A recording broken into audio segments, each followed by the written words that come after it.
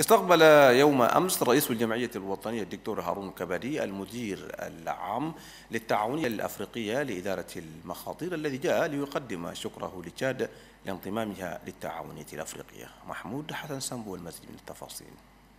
بما أن البلاد تعتبر ضمن الدول الحديثة العضوية في التعاونية الإفريقية لإدارة المخاطر حيث وافقت الجمعية الوطنية في شهر مايو 2017 على اتفاق يتعلق بإنشائها في البلاد. لذلك فإن المدير العام لهذه التعاونية الإفريقية محمد بيافوغي قد جاء إلى البرلمان بهدف تقديم الشكر إلى رئيس الجمعية الوطنية الدكتور هارون كابادي على انضمام البلاد لهذه التعاونية. ففي خلال هذه المقابلة التي استمرت زهاء ساعة فقد شرح المدير العام لهذه التعاونية لرئيس الجمعية الوطنية مختلف المهام التي تقوم بها فيما يتعلق بإدارة المخاطر الطبيعية.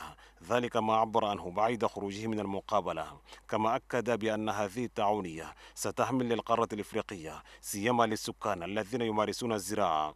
المعلومات المختلفة التي تساعد بها الاتفاقية في حالة الجفاف والفيضانات وغير ذلك من الكوارث الطبيعية.